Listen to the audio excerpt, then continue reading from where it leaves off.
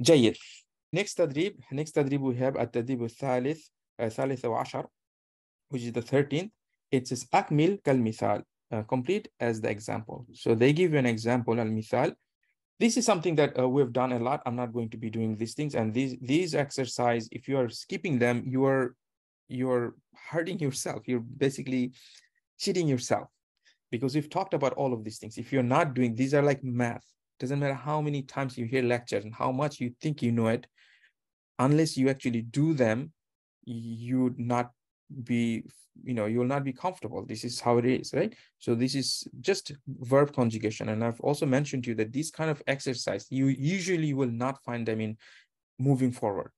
Because when they say sarf morphology they don't talk about conjugation.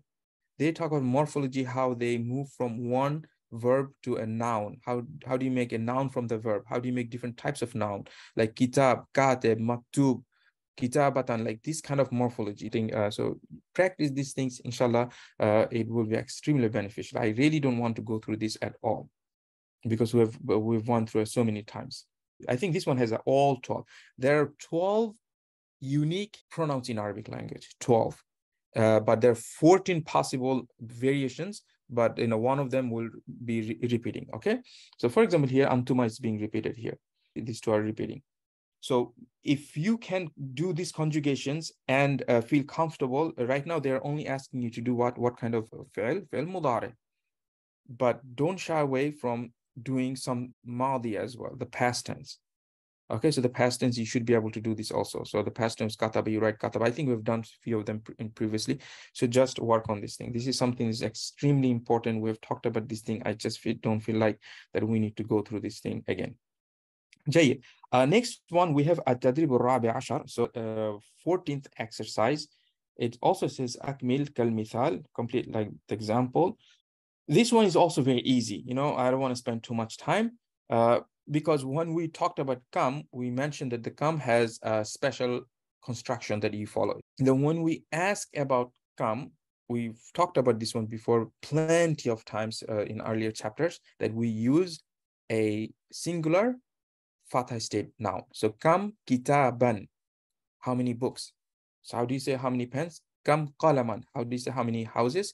Kam baitan. We don't say buyut. We don't use a plural tense. We say singular. Sometimes we use a different way. We say kam adadu. Uh, so they want you to use sanawatu dirasa. Not dirasa, dirasa. So you say kam adadu. What is the adad means what? Number. If you want to ask the how many numbers of year of study, you will say kam adadu sanawatu dirasa. Uh, adadu sanawati dirasa because these are what mudaf mudaf ilay. This is uh, mudaf, this is mudaf ilay, then this is mudaf, this is mudaf ilay. We talked about this one before, right? So this is something that I don't want to spend too much time. Just uh, know this is how you ask. Because if you were to ask how many years instead of saying numbers, because look, I can ask in English how many numbers of years of study, just like uh, this example. I can also ask you how many years of the study. You understand? So both ways I can ask. But now I'm asking you a question. If I ask how many years, instead of saying adat, if I say how many years of study, then I have to use the standard form. I have to say kam sanatan. You cannot say kam sanatan ad dirasa, you say lid dirasa. Okay, so for the studies because the answer would be, let's say three years. Thalathu sanawatin. You understand? So for example, nawafid, what is nawafid? Who knows? Nafida. Remember, nafida is window. So you want to know how many numbers. What they're basically showing, if you want to ask about number, then just follow this uh, this pattern. Kam adadu. Then you ask the number. Like you want to say, what is the number of something? Use the kam adadu and then the idafa. How many numbers of books you have? Kam adadul kutub. Uh, you'll use this kind of form. Okay, makes sense? I think uh, if you just do few of them, it will be easy. Uh, this is very simple. I'll just do one here. Kam adadu sanawati dirasa, uh, uh, sa'atu dirasa. Sa is the hours, how many hours of studies. You will say uh, sa'ati dirasa because it's going to be in idafa format. Adadu, as you can see, okay, is idafa. Make sense? Now, then we have the 15th exercise. عيد كتابة الجملة المستخدما ما بين الأقواس Aqwas is a plural of qaws, which is the these brackets. They're talking these brackets. So Aid, uh, you should know this one. Aid means to repeat. Kitabat al jumla, writing of the sentence. Repeat the writing of the se sentence. Mustakhdiman. Mustakhdim is another very important word. Anybody knows? To istakhdam to something. It is to use. The verb is istakhdama. Okay, to uh, to use. Using Ma bainal aqwas, what's between the parentheses. Okay. So they give an example. Man uh, yadrusu fil mahad. Malladhi yadrusu fil mahad. So they want you to use huwa in order to answer the question. So you say huwa yadrusu fil mahad. Then the, the next one, you, they want you to use here. So you can see here, tadrusu fil mahad. So basically, they just want you to make sure you understand changing the gender of the verb. Uh, and for the anta, you will say, anta tadrusu fil mahad. Make sense, guys? Very simple. This, is, this goes into the same exercise uh, we had previously, you know, going through all of the pronouns. Uh, for example, you have at-talibu yaktubu darsa. The student is uh, writing the lessons. But if you're instead of a talib, you say anta, what do you say? Anta taktubud darsa. And how do you say anti and change this verb? Tak to bina. Yes, yes, yes. Excellent. Tak to bina. Okay, taktubina. Anti taktubina darsa. You're you are the one who is writing the lesson. Jayid. Uh, التدريب السادس uh, the 16th exercise it says حوار حوار you know it's a conversation it says a talibul الأول it's not one student it's talking about the first student so we've also studied how do you say number in cardinal and ordinal so this is ordinal form A talibul الأول the first student says "Come first, learn." see it's using the standard rule of the kam. Come first, learn. Fil am, am is what huh? sana it's uh, a and sana they mean the same things so how many fasl we have already studied here? It means seasons. How many seasons are in the year?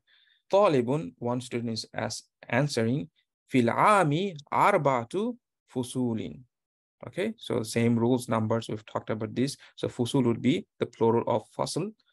So in the year, four seasons. Here, why did it say here? Here means she. Who can tell me why it's saying here? Yes, it's ghair So when you have a plural of non-intellect, we don't use plural to describe them. We use singular feminine. So because we're talking fusul, which is a plural of um, non-intellect, so we say here. So they are ashita'u, winter, al-kharif, okay, al-saif, and al-rabi. So winter, fall, summer, and uh, and spring. I think we went through all of them. Uh, then Abtalib, that the student then saying, wa mata tabda'u dirasatu بالمعهد متى تبدأ الدراسة بالمعهد So when does the studies start? in the institution. Okay. Bada yabda'u, we had it to begin at dirasatu. Okay. So as you can see, the dirasa has a, a dhamma. So that means this is the uh, door, uh, the file of the tabda.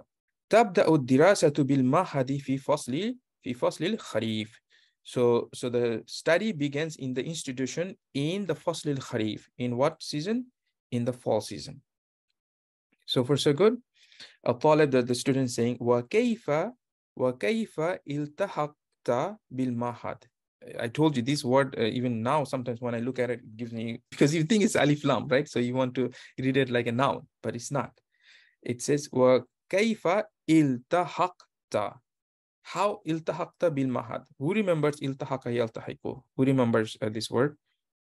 Iltahaka is to join, right? So how? Kaifa is how? How did you join? This is in past tense. How did you join? And ta, ta means you. How did you join? Uh, the Remember, I told you iltahaka always has the harful jar preposition b. So how did you join uh, the mahad, the institution? That is the question. Uh, the the student says, قدمت طلبا إلى عميد المعهد. قدمت. So I think you've been seeing a variation of this word many times, uh, different ways. So you have taqaddama and qaddama. So you have qaddama, qaddama, okay? And then you also have taqaddama, taqaddama. When you do sarf, you will understand uh, more what's going on here because uh, as you can see, these are just coming from he here, okay, uh, which is also coming from qadam. So qaddama, it means uh, the best way to understand is the meaning of this, and then you will understand. Qaddama, it means to submit something, to offer something. Okay. And this one is transitive verb. Qaddam is a transitive verb. So that means when you say qaddama, you need to say that you have what you have did the qaddam. What did you submit? What did you, you know, uh, offer? What did you present? So here you have to say something. So he said, qaddamtu talaban. I have uh, submitted uh, a request. If we say taqaddama, this verb becomes intransitive. You understand? They, they pretty much have, have the similar meaning, but how you use that. One is transitive, one is not transitive. Mm, taqaddama means also to be uh, offered, uh, to be advanced. جيد إلى العميد المعهد uh, to the dean of the uh, institution. So I have submitted a request to the uh, to the dean of the institution. Then the student asks, وما وما البيانات التي كتبتها في في الطلب?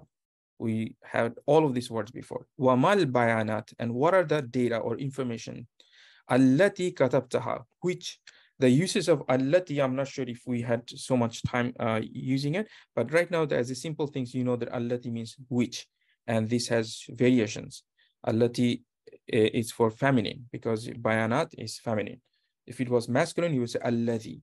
So what are the information which, okay, which uh, look what's happening. Katabta means that you, ha, ha refers to this information. What, what are the information that you wrote it in the request?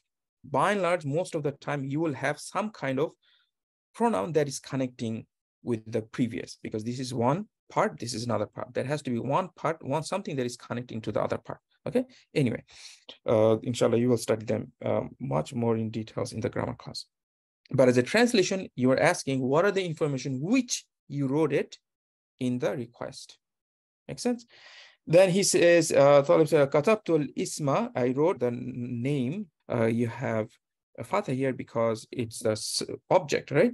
Well, jinsiya, nationality, wal umra, umr is age, what diyana is the religious mu'ahil, mu'ahil ad-dirasi means academic qualification, thumma unwan, and then the address. All of them are getting fatha is because these are all object of kataba, the things that you've written.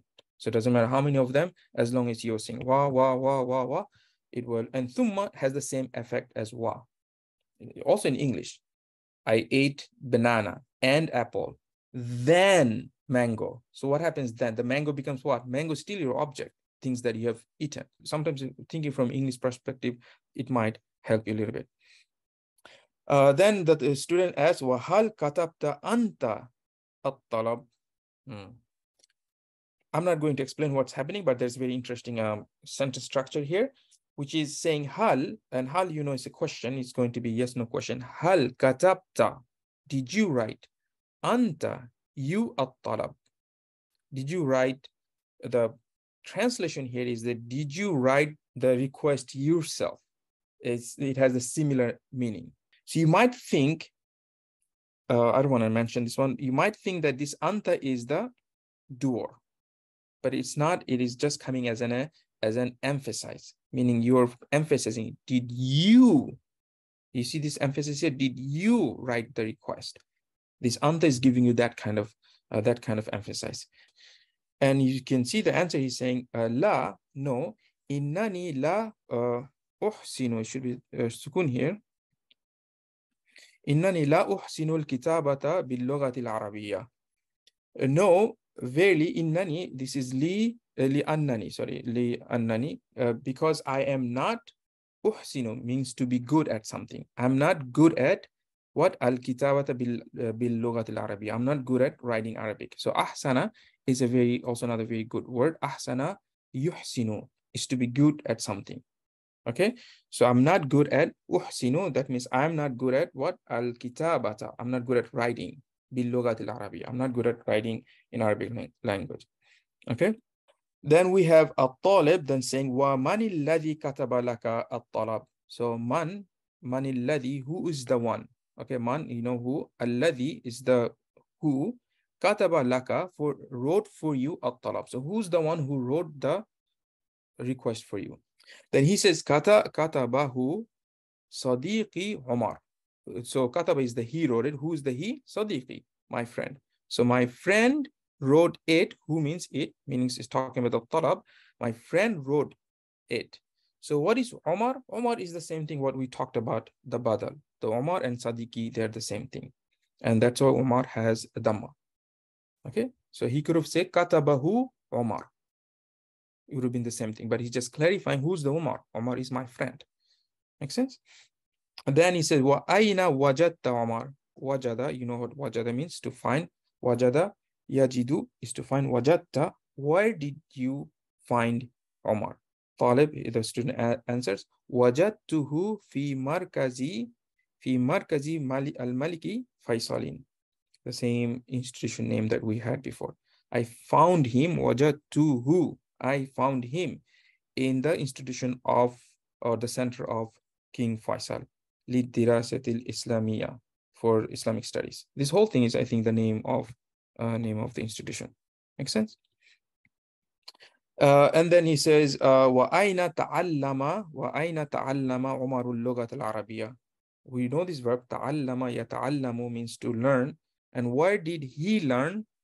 He who, Umar, learned Arabic language. Then he, uh, he's saying uh, ta'allamaha. Okay, ta'allamaha. He learned it. So why is it how all of a sudden? Because he's talking about feminine, al-lugha. تعلمها في معهد اللغة العربية بجامعة أم القرى. So he learned uh, it in the Institution of Arabic in the University of Umm, umm al-Qura. وأين جامعة أم القرى? Very simple stuff. And where is the uh, University of Umm al-Qura? جامعة أم أم القرى في مدينة مكة المكرمة. The University of Umm al-Qura is in the Makkah al-Mukarramah, city of Makkah, basically, right? وهل تعلمت شيئا من اللغة العربية الآن؟ وهل تعلمت have you learned or did you learn actually did you learn شيئا شيء شيء means anything okay شيئا have you learned anything من من من اللغة العربية from the Arabic language الآن now have you learned anything نعم، وأنا الآن أتكلم معك باللغة العربية. He's like, yes, and I am, uh, وأنا الآن ana I am right now speaking. Takallama yatakallamu means to speak. Okay, so the verb is تكلم. Takallama yatakallamu means to speak. So أتكلم means I'm speaking. So I'm speaking معك with you باللغة العربية. So he's saying, of course, because I'm speaking with you in Arabic language. Shukran, afwan. So here's another expression. When somebody says shukran, you say afwan. Afwan can also be used as an excuse me. So you want to pass through someone uh, or you want to get someone's attention, you can say afwan. Uh, then we have, uh, next one, we have a tadribu sabi ashar. Okay, so we have the 17th exercise. Uh, it says akmil. So this kind of, uh, this one, it's kind of difficult doing it because they're not giving us what kind of information they want. And, uh, you know, it, it would have been much better if they gave us, you know, a set of words that you need to choose to fill them up. Then we would know what they want because uh, some of them are not trivial. Uh, I mean, some of them you have to kind of know what actually they want because it's different ways of doing this. You can you can make a sentence different ways. You can use verb, you can use noun, you can use this and that. So some of them are easy, some of them are not. So uh, I'll just do a few of them. Uh, whatever you can understand, uh, whatever you can do, that's fine. I'll give you some example what they want here. So it says أرسل عمر طلبا إلى إلى what? then it says Mahad al Arabiya. So this one would be easy. Omar uh, sent a request to, where did he send a request? They're telling you Mahad al Arabiya. So it seems like they're pretty much giving everything, except that you can say Amid here, the dean. she's sending to the dean of the institution of Arabic language. Then it says B Jamiati Ummil Qura. Uh, these are fine. Then it says Kataba Omar uh, Al-Talabi Al-Bayanat Al-Atiya. Okay, so this is here, we need a harful jar. We need a preposition. So what preposition goes here? So you understand what he's trying to say, right? Uh, Al-Talab is the request. Of course, Al-Bayanat Al-Atiya is the following information. Use fee. So Omar wrote in the request following information. Okay. So then uh, all this information you have to write. Uh, he's giving some of them al-jinsia, So you can say al-isim. Okay. So he writes the name, al-jinsia, uh, maybe al-umar, the age, al-diyana. He wrote a few things, right? Uh, here you can, you know, it's going to be mu'ahil. Remember, mu'ahil, this is easy to know, al-dirasi, uh, the academic uh, qualification, something like that, one one. One one is something else here, or is there, even the punctuation is not clear. So honestly, even for me, I don't know what they want. How do they want us to fill this thing up? Uh, okay, so if we have a B here, bil mahad, so what is the one verb we know it goes here, we can use? So this would be the file, the door, you can say iltahaqa, right? Iltahaqa. Iltahaqa Umaru bil Mahadi. Right? Something like that. I'm pretty sure if you spend a little bit time, you'll be able to find. Uh, if it's too complicated, don't worry too much. Uh, I don't like uh, this exercise so much only because it's a good exercise for sure, but it's ambiguity. There's a lot of ambiguous. Uh, uh, it's not clear to me even what how they want us to. Look at the last one. Last one says Omar. What do you think is gonna go here? Uh, the clue is that we have two uh, semicolons, not semicolon, I mean two colons. Yes, qala. Yes, good. Qala or yaqul, whichever. Uh, you can qala would be the past tense, or you can say yaqul would be the present tense. So he says, "Ana al-ana aqra'u." No, you cannot uh, you cannot have a file here because the file is akra, so it would be ana. Okay, ana is already here, so akra is ana, so the file is already there. Remember, uh, this is another uh, tricky grammar rules. Uh, when you have akra, like in a first person, you cannot have an explicit file. You know, you cannot say akra ana. Uh, that's that's not gonna work. So only the third person can bring a file. So you can say yakra'u Muhammad. Then the Muhammad is the file. Do we can say kutuban, we can say kutuban. Okay, now I read books uh, in Arabic language. So you see, you got to put a little bit of thought in here. It's not that straightforward, uh, but I just hope there was a little bit more guidance, like saying use this, this, this, you know, or use um, nouns or use verbs or use prepositions, you know, something like that. It just all over the place. Know, it's not clear. So even hal we can use. The only thing would be uh, because of the aqra, the qara'a is is a it's a transitive verb. It can be intransitive also. Uh, the kutub would be good. But what what about hal? Let's just, just think for a little bit because we talked about the hal. Uh, since you brought it up, let's say, uh, what would that mean? At least we can practice the concept of a hal here.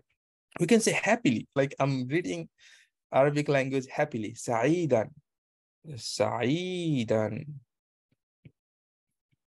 Happily. Now I'm reading happily bilogat al-Arabi. Reading is a, a, transitive verb as far as I know. So maybe this would be a better choice than, uh, but uh, in the context, if we know what he's, uh, I'm reading, you know, then it might work. But as you can see, we can also use Sa'idan if it wasn't a transitive verb, stuff like that. See, you got to put a lot of thought in this exercise. You know, uh, you have to know the context, the text that you're reading, the vocabularies of that text, and then you know uh, some grammar things here and there. جيد. So uh, next one we have التدريب الثامن عشر. So we have uh, 18th exercise. And this is also another problem because um, it says fahmul masmu' it's like understanding of listening listening comprehension basically, but we don't have a listening materials. So we are kind of stuck. So what we usually do is we look through the, these phrases, see if we can find something interesting. Uh, nothing here. Uh, it's talking about the street. These are just uh, names. Same thing going on here. Nothing interesting. Uh, Sadaqallahu al-Azim. Uh, we talked about this one that Allah spoken the truth. Uh, Subhanallah, these are some expressions, probably asking what to say after reading Quran. This is my guess, you know, then it would be this one. Or it, it might be asking, what do you read when you start the Quran? Then this would be the answer. كان يجلس في في مكتبة المركز. So, uh, did we talk a little bit about uh, the issue with the kana and the present tense verb? Uh, basically, it makes it into past continuous tense, right? So if you say yajlisu, that means he is sitting in the library of the institution or center. He is sitting basically. If you say jalasa, he sat, right? When he's sitting in the present tense, a jalasa would be sat. So what happens when you say kana? Kana makes it, uh, of course, you know, the verb kana is basically verb to be, like in the past tense, uh, which is was. So you would say into past continuous tense. So he was sitting. And and some context you can also say he used to. The most common you would want to do it is put put in the past uh, continuous tense, like he was sitting, because the used to would be when uh, you know it, it needs a little bit more context okay without context he used to it's uh, probably would not be the best translation but definitely when you say he used to this is this is the phrase you will be using. Makes sense? So this is something to note. Uh we did all of this. Uh there's nothing here. Nothing here.